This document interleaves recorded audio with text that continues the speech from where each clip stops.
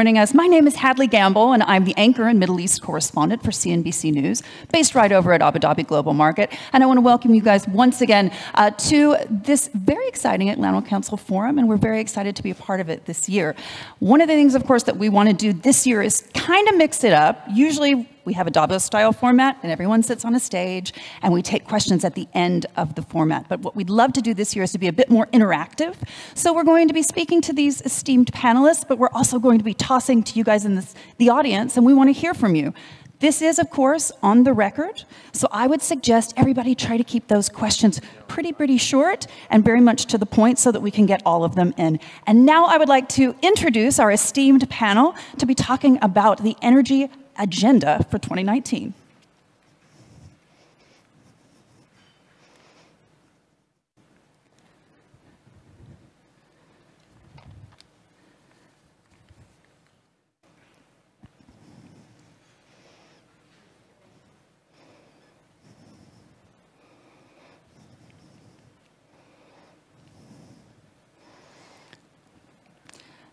Joining us on stage right now, as you probably very well know, His Excellency Suhail Al Mazrouei, the Minister of Energy for the UAE. We also have the Special Representative on Iran for the U.S. State Department, uh, Brian Hook, Lisa Davis, the CEO of Siemens Energy and also a member of the Managing Board, and our very good friend Majid Jafar, the CEO of Crescent Petroleum. Thank you so much, panelists, for joining us.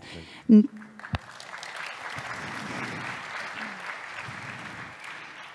it's very exciting for me as a follower of the oil markets and a reporter for CNBC to get to speak to the Minister of Energy so closely in one week. I spoke to him just about three days ago for his first interview of 2019, and I asked him about his tenure as OPEC president. I asked him, Did you feel trumped by what we saw happening over the last year? My question today, though, is how do you plan to tackle the known unknowns coming from the Trump administration in 2019? Well, first of all, uh, I think it's uh, we will continue doing what we have been doing successfully in the past two years, which is uh, watching and trying to achieve the market balance, trying to ensure that uh, the uh, that we have enough oil but not too much oil in the market for the consumers. Uh, we will not target, uh, as we always say, a price. We are targeting that balance. Whatever the price is going to be achieved by the, uh, by the market when we reach that balance. I think uh, we have demonstrated that we can increase production and we can decrease production when needed. And I think that is a good testimony of how strong this alliance between OPEC and non-OPEC. So I'm optimistic that during 2019 we are on track to uh, to achieve that balance rather in the first part of the of the year rather than the later part. And Brian, I want to bring you in here as well because when we're talking about those known unknowns, one of the things that really threw potentially some of these OPEC countries, OPEC plus, for a loop were these extra waivers when it came to Iran last year. How do you see this playing out in 2019, and what do we really need to watch for?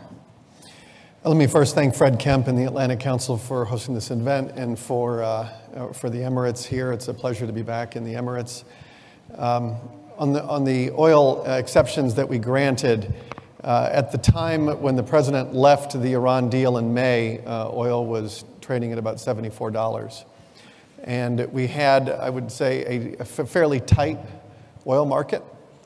And we were in the process of uh, talking about how we have a goal of getting all Iranian uh, uh, imports to zero. And we ended up taking off in that six month period uh, from when the time the president left the deal in May until uh, our sanctions were then fully reim reimposed in November, we had taken off about a million barrels of Iranian crude off the market. We did not want to lift the price of oil, and we were successful doing that. So when the president left the deal, it was trading at 74. When our sanctions went back into effect, and we had taken off a million barrels of Iranian crude, oil was at 72. So we had very carefully calibrated the balancing of our national security goals uh, and our economic interests. We did not, the president was very clear that he did not want to cause a spike uh, in oil. And so we granted uh, eight uh, oil exceptions, significant reduction exceptions. All of those countries demonstrated significant reductions in their purchases of Iranian crude that made them eligible for an exception. We are not looking to grant any waivers or exceptions to the import of Iranian crude. Uh, in the last cycle, we had to be very careful because, as I said, we had a, uh, we had a fairly tight market.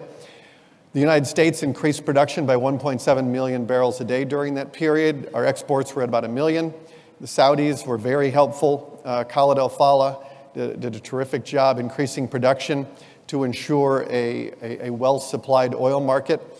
Next year, we, uh, we foresee uh, a better picture. Uh, and then I think that allows us to accelerate our path to zero. And in terms of the waivers ending in May, what's your expectation today of whether we could see those extended?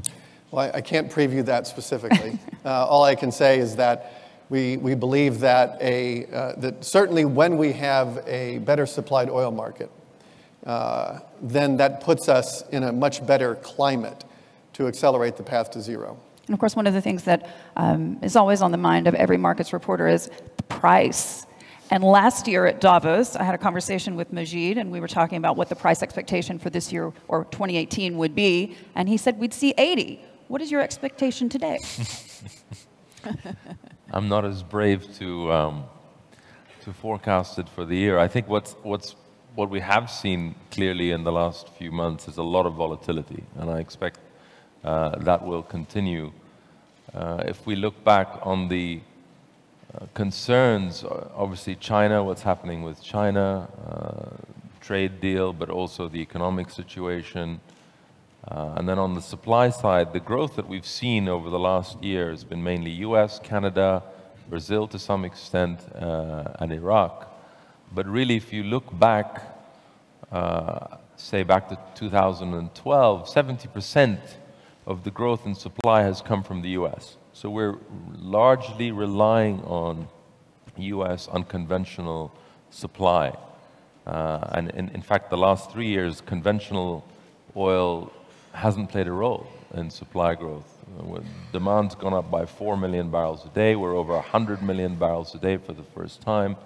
Uh, and all of that in the last three years came from the US. So there is chronic underinvestment in conventional uh, oil. And then on the gas side, uh, the growth in demand for gas, uh, the huge developing economies like China and India recognizing it as a fuel of choice for power, not just for global climate change uh, policy, but for local air quality policy. That's a huge political driver now with cities like Beijing and Delhi, uh, you know, and it's more than just a quality of life. They've had huge health challenges, even deaths as a result of air quality. So the switch from coal to gas, which economies like the US and, and the UK have already largely achieved, is going to be a big driver for gas demand growth, particularly in Asia.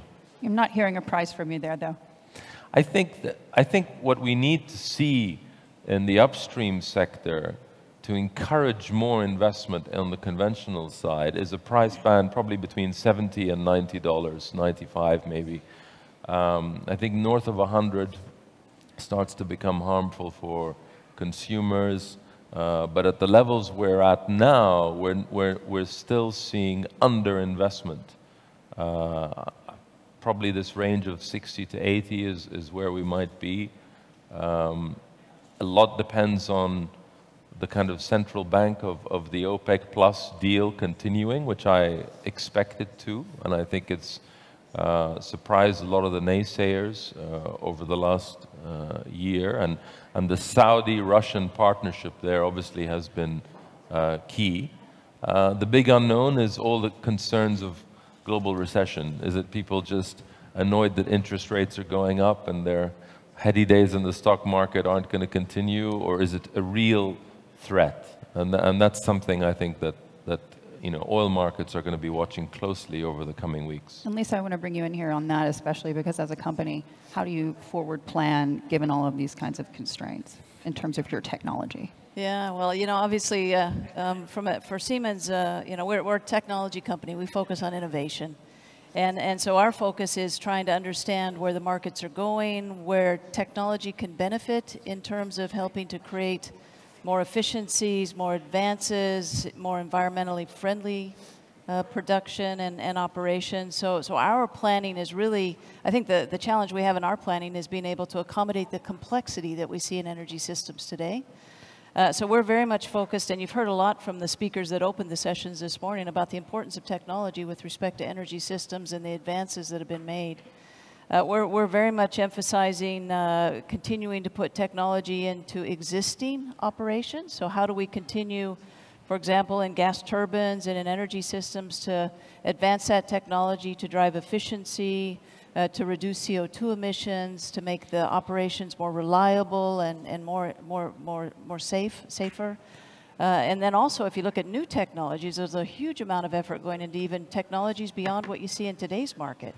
So as, as you look at energy systems today and they become much more complex, how do we leverage uh, digitalization? You've heard that spoken about this morning already to manage that complexity, put intelligence into the grids, be able to visualize the energy system in a bigger way through digital twins and such. But also what we're finding is as energy systems get more complex, uh, the need to integrate more across the different forms of energy, whether it be oil and gas, whether it be renewables, et cetera.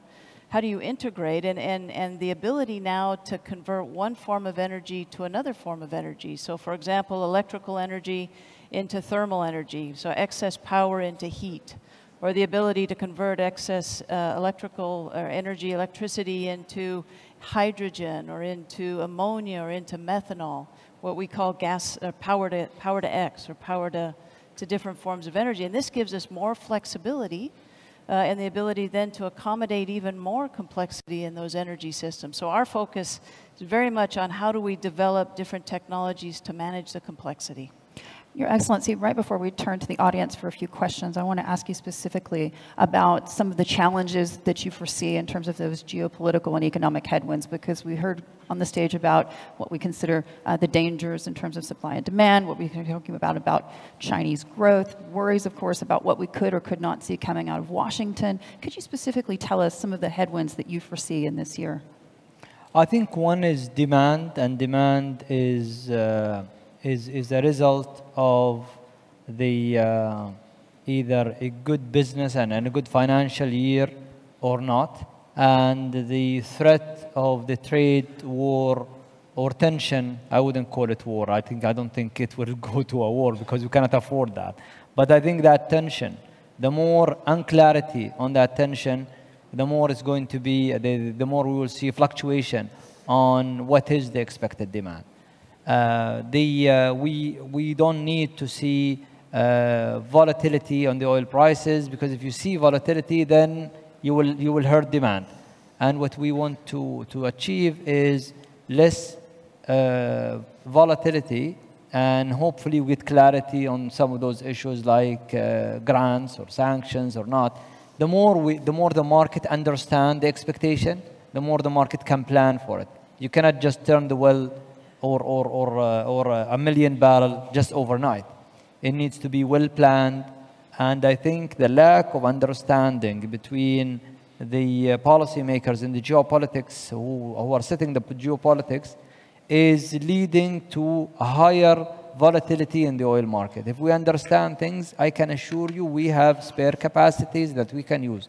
Uh, and uh, so the trade tension between China and the US is, is, is one thing that we need to watch for. Uh, how much to expect from the shale oil, that's another thing that we need to understand and maybe work uh, with the uh, shale oil producers to understand. And we, uh, we pay them a visit uh, at the CERAWeek and we have that discussion, candid discussion with them. The, the idea is not to, to, to talk about a production or limit, just plan plan of, of, of the production, then we can, we can adjust for, uh, for, the, uh, for making sure that the balance in the market is there, which will attract investors to continue investing here in the United States and elsewhere. Uh, I think I think those are those are the uh, the main major two uh, two elements. Are we going to see a slowdown in the in the financial world? Uh, is there is there true a uh, a uh, a recession coming, and when, and how can we plan for it? The, all, all of those major risks are, I think, not unique for the oil industry, but they are in, in, they are generally concerns for all of the investors around the world. And you mentioned policymakers lacking understanding potentially about the markets and supply and demand. Were you referencing the U.S. president by any chance, or anyone specific? No, no, no. I think I think uh, people are trying to trap us into this, but what we respect, uh, I think, all of those major nations, industrial nations, they are the major economies: United States, China, India, uh, Russia we listen to those presidents because they are talking on behalf of the consumers. And to us, as, as a producing nations, it's important to understand what makes uh, the consumers happy and try to do it for them because that will drive demand.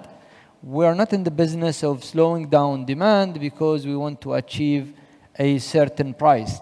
That is a very old policy that we throw it into the pen. We are now concerned about achieving the balance, incentivizing investors to continue investing in this important commodity, and uh, some of those countries, uh, United States is, is, is the world's largest producer of oil. So it's, it's, it's also part of their economy uh, to have a good incentivizing economics for those investors in the shale oil and in the others. So I think, I think it's, it's, uh, we are complementing each other. We're talking to each other, but we're not, we're not, uh, we're not enemies here. We're trying to do something that, that benefit us all. I want to turn now to the audience to take a couple of questions for our panelists. if you'll raise your hand, I have microphones that can come to you all around the room. And I have one right down front.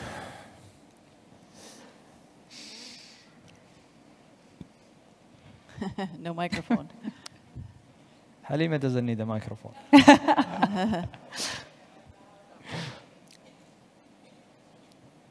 Thank you so much. Um, actually, Brian, this is a question for you. I'm always asking you questions. But in terms of you know, the skepticism in the market, there has been some skepticism about the ability of the U.S. government to actually enforce sanctions. There's been a lot of discussion about ghost ships turning off their tracking devices, you know, countries seeking to evade the sanctions. Can you talk about you know, the successes or the challenges you actually have enforcing this sanctions regime? Yeah, good question. Um, for Secretary Pompeo and the President, sanctions enforcement is one of our top priorities. In the prior administration, uh, they had granted about 20 uh, oil waivers over a period of three years. We have granted eight Three of those eight have stopped importing Iranian crude. So we, we face a much different picture today than the Obama administration. We, um, I gave a speech uh, shortly after our sanctions were reimposed talking about the point you just made. Uh, at the time that I gave the remarks, we had about a dozen Iranian tankers that had turned off their transponder. And in the Obama administration, I think you had almost half of the tankers had turned off their transponders. Since 2004, it is international maritime law to ensure the safety of traffic that ships operate with, with, with their transponders. And so the Iranian regime, which is an outlaw regime, um, to certainly tries to evade sanctions. Uh, we have, I think, organized the interagency in a way to make sanctions enforcement a big priority. And we have had um, a fair amount of success with it. Uh, I think nations around the world know that the president is very serious about his campaign of maximum economic pressure. Uh, there were about, prior to when the president left the deal, you had about 20 co- uh, countries that were importing Iranian crude that today are not importing any Iranian crude. So when, when, when the president and the secretary of state, secretary of the treasury, secretary of defense make Iran the priority that it is, I think nations around the world understand that there is no benefit to them partnering with the Iranians to evade our sanctions. We will sanction any sanctionable activity. We have already demonstrated that. Uh, Treasury has already done some sanctions since the time that we, we have reimposed ours. We know how Iran evades sanctions. We know the general channels they do it. And uh, we are working very closely uh, with our partners to try to close those loopholes. But then I've also met with a number of countries that have historically um, been open to cooperating with Iran, that it's a new day. Speaking of that, why don't you tell us a little bit about your recent trip to Iraq and how you fared in terms of those kinds of conversations? Yeah, I've been on the Secretary's trip. We're on a nine country tour, and um, we were in Baghdad and then also went up to Basra and had very good meetings there, specifically in terms of uh, my portfolio. Iraq has been importing um, electricity from Iran. We granted a 45 day waiver. Most the oil waivers all run on a six month clock, and that six month clock is is by, is by statute, it's by, by, by congressional statute. Uh, we, had, we had discretion on the electricity piece, and so we granted a 45 day waiver initially. And that's because uh, we did not want to see electricity uh, outages or shortages in southern Iraq. Um, we did make very clear that we needed to see progress in the direction of um, diversification on energy and um, a better integration. Uh, we, we, very much want Iran to stop interfering in Iraq. We want Iraq to um, enjoy uh, sovereignty. Um, and though that was the nature of, of a lot of the discussions in Baghdad. Well, one person sitting on this stage would have a pretty clear idea of how far those conversations really got. Majid, you've been working in Iraq for many years now. Give us your sense of how cooperative the new government is going to be to this kind of influence. So I, uh, I have no visibility on how those conversations uh, went. Uh, but the situation in Iraq, there's clearly a lot of gas resources in country. Uh, but what hasn't yet happened is a strategy to utilize them. So you have the strange situation where over a billion cubic feet per day being flared in the south, and yet there are power stations, new built gas-fired power stations, one by an affiliate of ours, uh, further north in the country, in the center of the country, sitting idle, some of them on top of gas fields, uh, and, and utilizing imported Iranian gas uh, at quite a high price. Uh, so that, I think the Iraqi government recognizes that. Uh, electricity provision is the number one priority. Despite all the good news in Iraq in recent years, the defeating ISIS, uh, the elections, uh, the Kurdistan uh, post-referendum issue remaining peaceful, the big issue is service delivery. The main reason the government didn't get re-elected or continue was last summer's demonstrations over electricity, and particularly in the south. So they've been talking with um, uh, Siemens, and GE about national strategies, uh, but also looking immediately how to deliver more electricity for the coming summer. Uh, we have bid successfully on uh, three new blocks, two of them in the Diyala area, uh, not far actually, 60 to 70 kilometers from our current production in the Kurdistan region, which is already 400 uh, million cubic feet per day, and we plan to double that in, in the coming years. But then with these uh, Diyala blocks, we could hopefully add to the domestic gas production, particularly in the areas where there's a deficit of gas. And then in the south, you have Shell, who's been working on gathering uh, gas, associated gas. But as the oil production increases, of course, that associated gas production is also increasing. And there's huge investment requirements in the infrastructure. That's a major problem for a lot of countries. Lisa, I want to bring you in on that specifically and how Siemens is working to develop that, um, not just in Iraq, but regionally yeah. as well. Yeah, you know, one of, one of our, our biggest priorities as a company within our energy program is to make sure we work closely with countries to help them become sustainable, self-sustainable. And obviously that's, that's a big need within Iraq. Uh, we've been working for many years with the, with the government there, the old government, the new government, and have developed a very long-term view as to how we can assist the country with respect to creating their own, leveraging their own resources to ensure they can be sustainable and self-sufficient going forward. Uh, that includes obviously the ability to capture the gas, process the gas, be able to then convert that through power facilities into electricity, uh, then be able to connect that electricity to the grid and, and be able to support the grid for broader distribution throughout the country. And, and the focus being very much on the long term. So for, for us, it's about not only putting facilities in and the technology that's needed to create the systems that will give them energy and prosperity, uh, but it's also about being able to create jobs, being able to develop skills so that then the people of Iraq can operate those facilities, can maintain those facilities, and also to start contributing to the development of a private industry in Iraq. So, so we've been working very hard to bring this forward and, and are very optimistic about the opportunity and, and the potential to continue working on it. Your Excellency, when we talk about this uh, potential and, and the, the, sh the, shortfalls, or the pitfalls rather, of um, a lack of development in a country like Venezuela, for example, which is now going to be the president of OPEC for the next year. How worried are you about these countries lagging behind and their ability, they can't just turn the taps back on immediately, their ability to help you going forward in terms of managing the market? I think uh, there was a reason for taking Iran and Venezuela out the, uh, the cut, outside the cut deal. Uh, those, uh, those countries, they have special circumstances.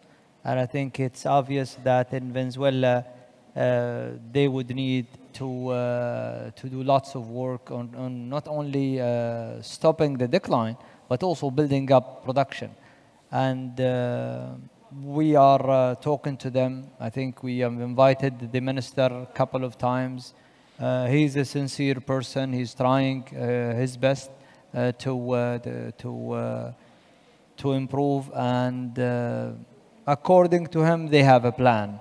Uh, but uh, again, it's, it's a difficult situation when, uh, and, and, and it's a complex, I think, political uh, as well as, uh, as well as from a technical point of view, uh, it's not an easy, an easy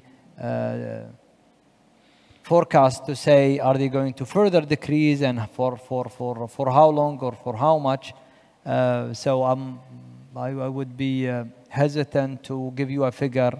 Are they going to continue? Are they going to stop or reverse? But we gave them, we took them out to allow them to, uh, to get, to get to their action together and try, try to do something about it. If they manage to maintain, uh, I think that's a good news. Uh, then we can, uh, they, they, can, they can be joined if there is another deal. But no expectation that those two countries, and even Libya with them, who asked for, uh, for exemptions, they are going to increase their production. There is, uh, there is a more uh, likelihood of the production going down, like been mentioned, uh, that the, the sanctions are not going to be forever, and, and, and, and they will be uh, probably tougher. So that's the expectation or the hearing we hear from the United States that they are not forever and then there is a limitation. So if that is the case, then that is going to hinder the, the, uh, the export and the production of Iran. And in Venezuela, they have another circumstances. They are also under sanction, but they have other issues as well.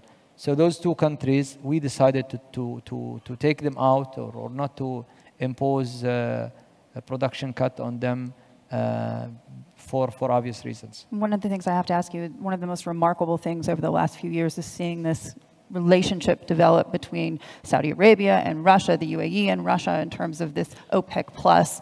Are you confident that Venezuela, as the president of OPEC, will see the kind of success that you have in terms of continuing that dialogue and continuing that relationship, which has become so central to OPEC policy?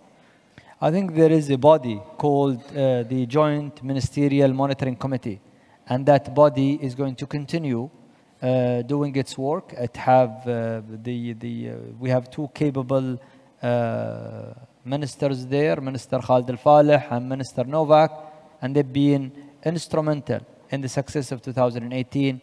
I think they'll carry on uh, doing a good job, and they will help the president to to hopefully achieve, achieve the decision. I think we have a question right here, Mr. Kempe.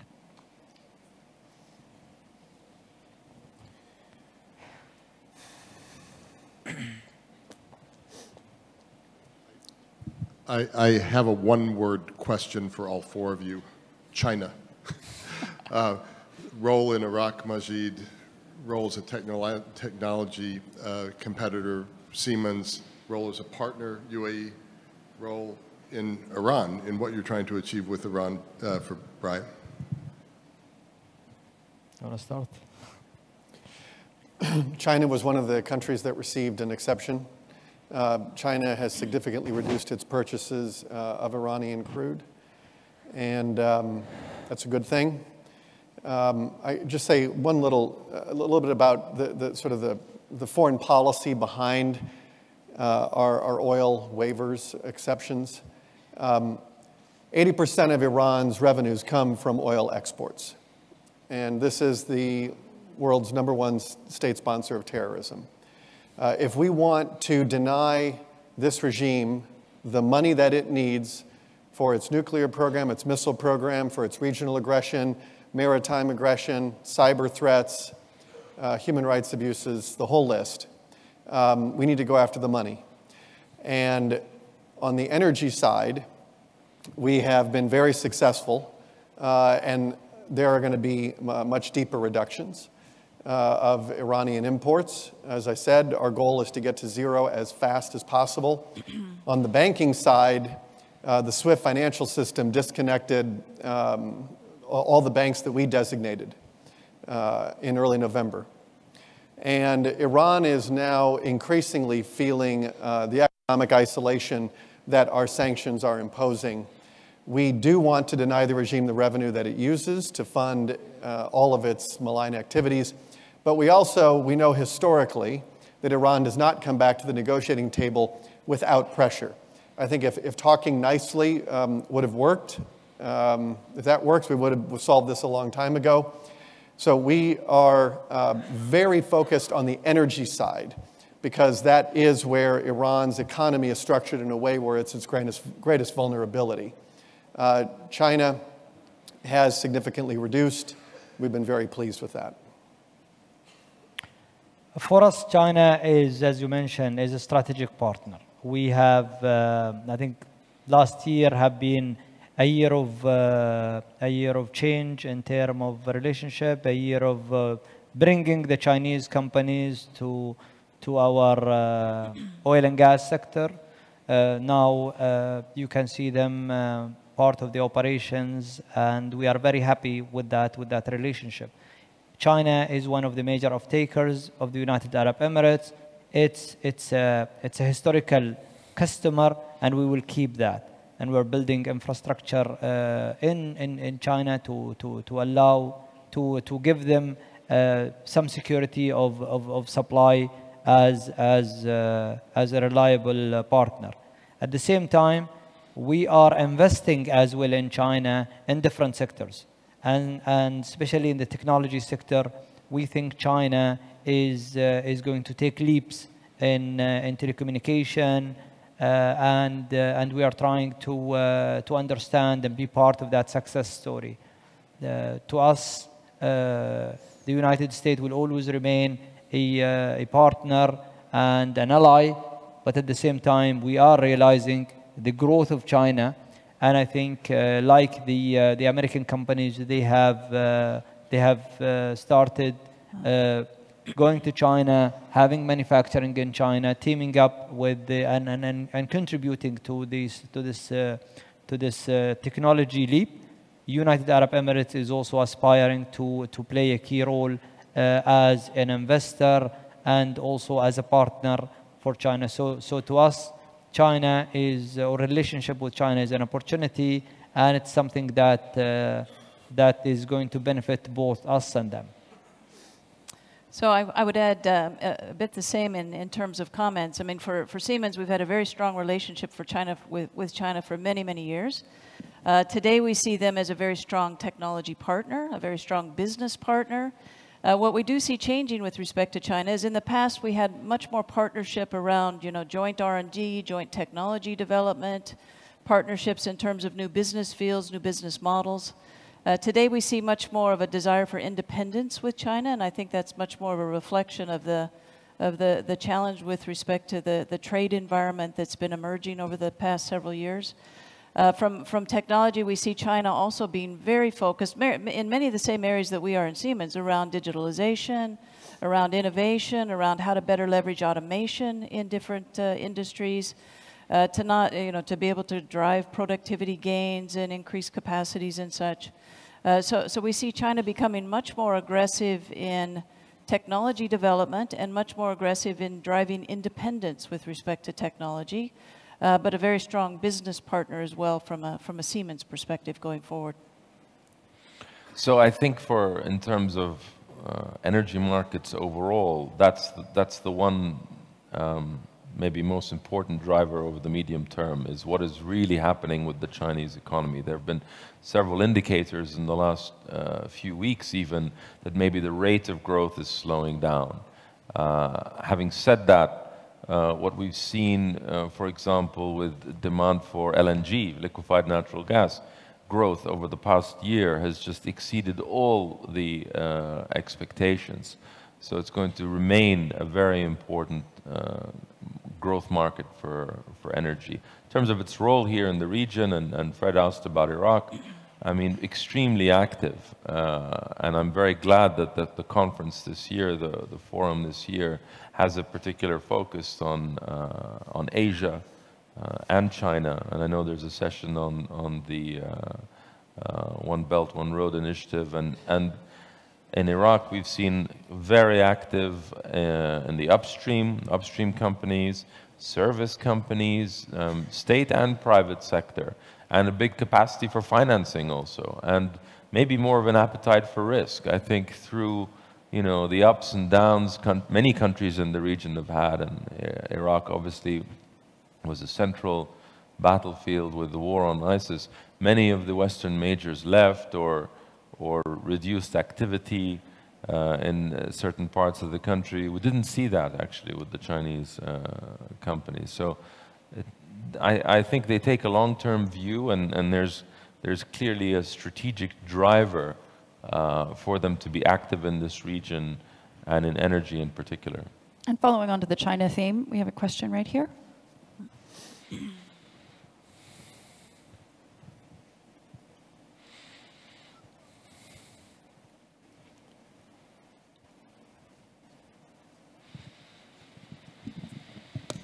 Noura Mansouri, a researcher at KAPSARC, the knowledge partner of this forum, and a visiting scholar at MIT.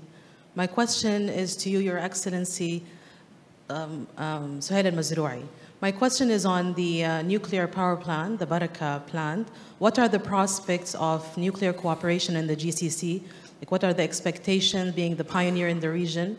We had a very stimulating uh, closed session yesterday on nuclear power in the Middle East, and one of the ideas was to launch a, um, an initiative, a, a, nuclear cooperation initiative, and have an uh, independent regulatory body for the GCC. What are your ideas on that? Thanks. Thank you. I think uh, the, uh, the successful program that we are building here in, in the United Arab Emirates, the idea of it is to become a, uh, a relevant uh, benchmark for, for the region. So we, are, we will be very happy to, uh, to share information. And I think especially with Saudi Arabia, the, the uh, collaboration and the discussion we had from the ministerial level uh, to, the, uh, to the operational level uh, has, been, uh, has been great.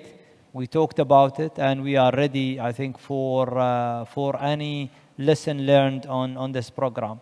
At the same time, we are trying with our partners from Korea to build an R&D specific R&D center here in the here in the in the in the Emirates and trying to develop uh, or, or answer uh, certain uh, certain questions and develop certain technologies related to the specific environments of, of, of nuclear and, and, and, nuclear safety here in, in this part of the world.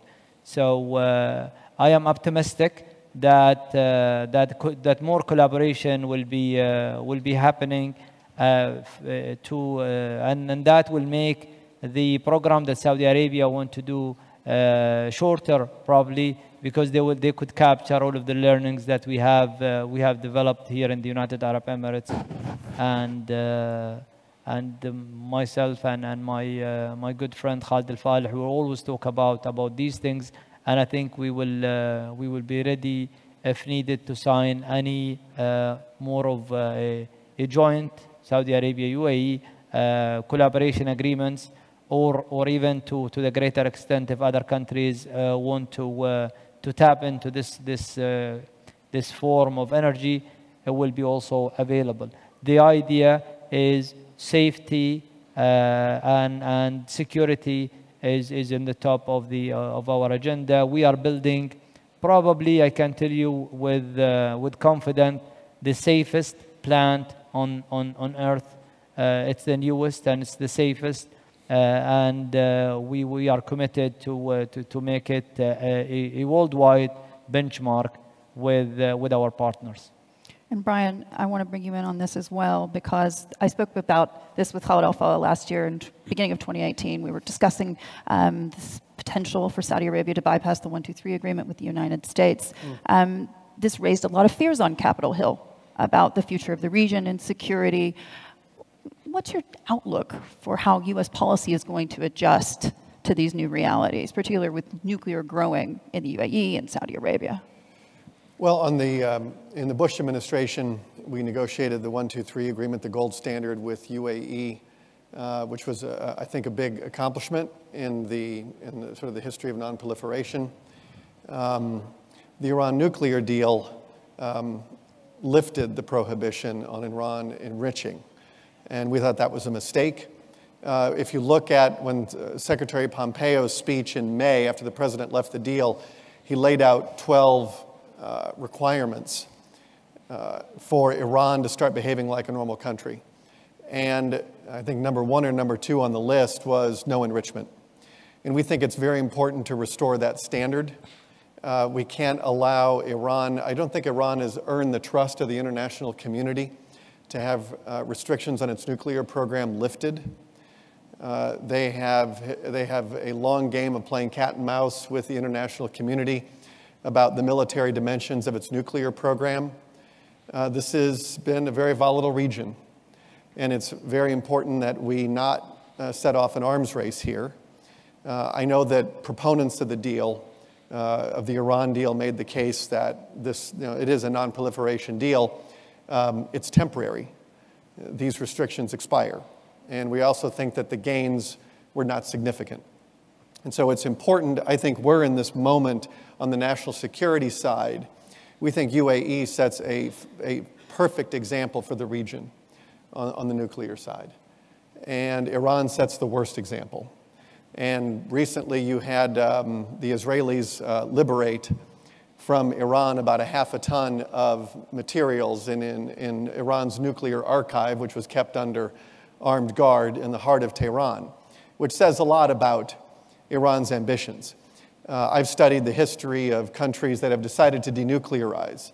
And one of the uh, common denominators is that they surrender their atomic archive. There's no need to retain a half a ton of materials on how to, how to build a nuclear weapon and the capability to deliver it if you really are running a peaceful nuclear program.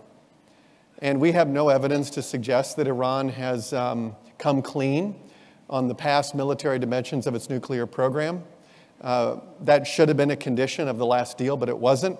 So we're looking to get to a new and better deal uh, with the Iranians, uh, with the regime, and that will include a nuclear component, um, but it needs to be comprehensive. It needs to include uh, all of the threats that Iran presents to regional peace and security, and the nuclear piece is the most significant.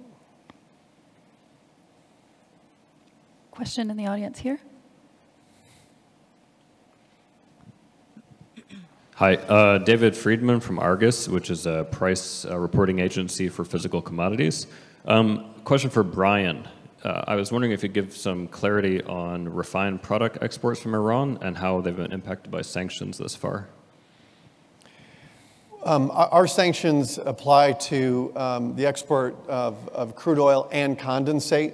And so um, we have not made an exception for condensate uh, as was done in the past. Um, and so I'm not sure if that's what your question is. Uh, Refined products. Fuel oil. Um, it's, uh, uh, our sanctions have been, been just around the, uh, uh, have been around just the oil and the, um, the, the, the condensate. And so I don't have much to add beyond that. Eithne? Right here there, in the middle? Back there. Back there.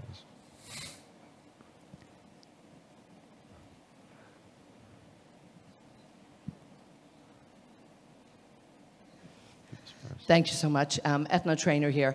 A question maybe to Brian and Majid. I think I'd appreciate you coming in and any of you on this. You seem to indicate, Brian, that every move the president makes is a very strategic one and with great reasoning behind it. But the market and the media, I know the impressions of the media, seem to take it very differently. And I mean, you know, they're pretty bright people. The market has been around for a while. But the reaction to the tweets from the president, you know, have been in some way thinking he's playing games, whereby you're saying this is very strategic in terms of what he's doing. How can the market and the media get this so wrong? And how can the markets be in mm. such a flux just because? And I ask that probably a bit selfish because I am moderating a session tonight on the impact of um, the tweets coming from the president, particularly mm. in the oil sector. But indeed, this is right across the board. Thank you. Well, in the case of Iran, and I'm the Iran envoy, so I can only speak to that, but um, uh, it has been very strategic. And in terms of the analysts that you, that you mentioned, I would just point out that when the president left the deal in May, analysts were predicting that we would only take off 300,000 barrels.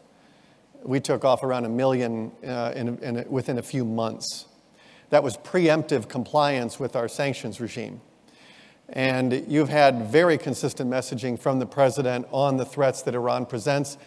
When he uh, ran for president, he made it very clear that he thought the Iran deal was a bad deal.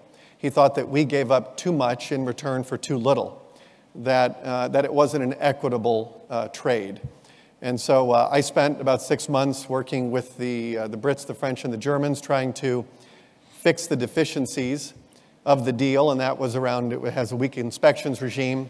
It has uh, the, the restrictions on the nuclear program lift, um, and there's no mention of ICBMs. And any country that wants to become uh, a nuclear power always needs the means to deliver them.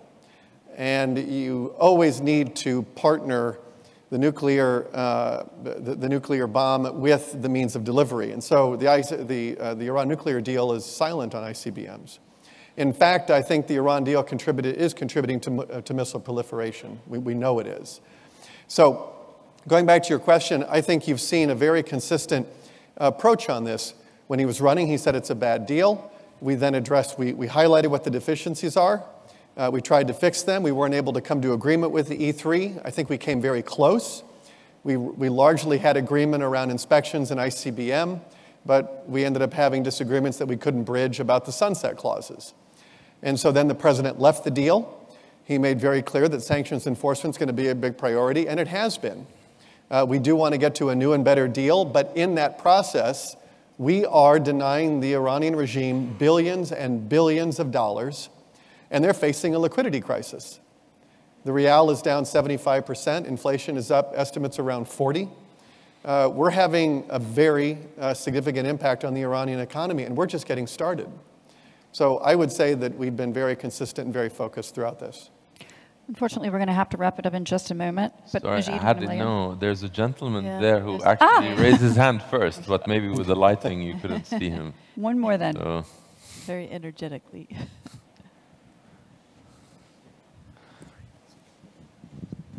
Uh, thank you very much for the distinguished panelist. Uh, slightly shifting from the geopolitics, this is Walid al-Somali from Saudi Aramco. Uh, R&D uh, investments uh, in the arena of uh, energy um, is an extremely critical factor for uh, this region for efficiencies in the energy domain. Uh, latest European Union statistics, $2 trillion were spent 2018 by corporate and R&D. So my question is for the distinguished panelists, two brief questions. One, what it takes for multinational corporations operating in the energy arena to increase its investments in R&D, technology developments here in the region. The other question is about technology-based entrepreneurship. Um, the whole region is putting a lot of emphasis on entrepreneurship and embedding them, uh, entrepreneurs, SMEs, startups, in the supply chain of energy.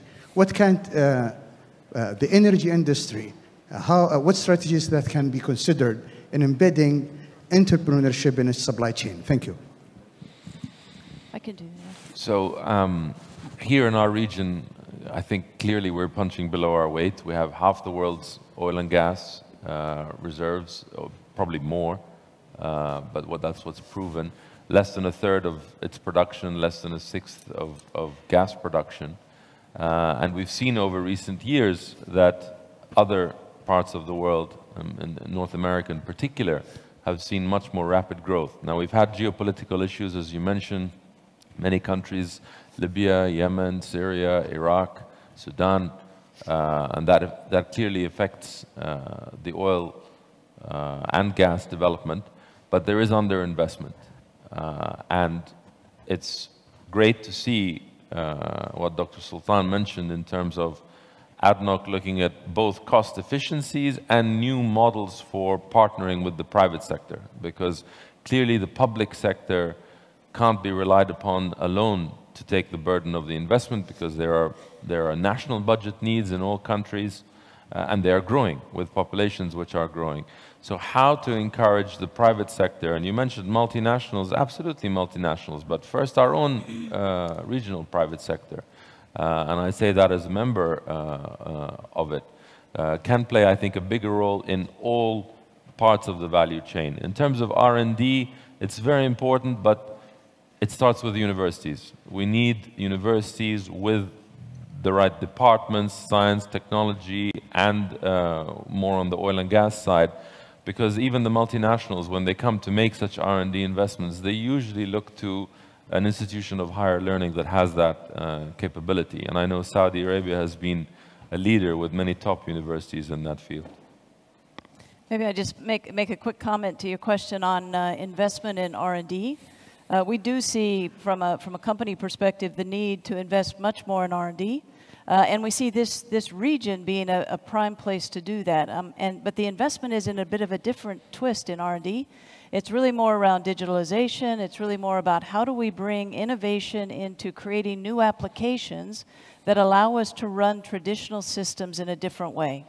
So how can we bring innovation into supply chain from a digital perspective, new tools that allow us to optimize, new tools that allow us to include artificial intelligence, et cetera.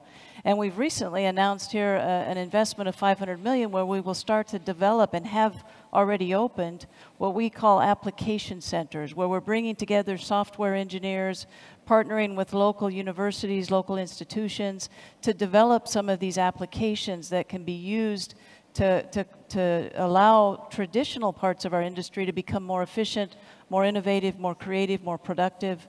And that to me is where we really need to invest more R&D going forward. From the supply and demand, I would like also to add, from the, uh, sorry, from the, uh, the uh, uh, uh supply chain and how do we allow the SMEs into the supply chain and have an allocation for them. I would like to commend the, uh, the ICV program or the in-country value program that uh, ADNOC have started. The target is around 40% local content, and we are we uh, we are integrating uh, the uh, the local manufacturers on on the basis of proper audit of their contribution to the in-country value, with a special uh, with a special emphasis on the SMEs. So the promotion of SMEs, their contribution to the uh, to the to the supply chain to, to the supply chain is something that, that we target in the future. We're not there yet, but I think there is a good plan for us as an economy, as an industry, to, to reach uh, where we are supposed to be in the near future. In terms of setting the, the agenda for 2019, I'm afraid we're actually going to have to leave it there. And we're running a little bit of overtime, but I'm going to ask the panelists to please stay for a few minutes and do a photo op Um, but thank you guys once again. Talking about um, the need more, more clarity when it comes to what's happening with China's growth, the fact that more technology and investment is needed, certainly with regards to Iran, the question about what's going to happen next in that.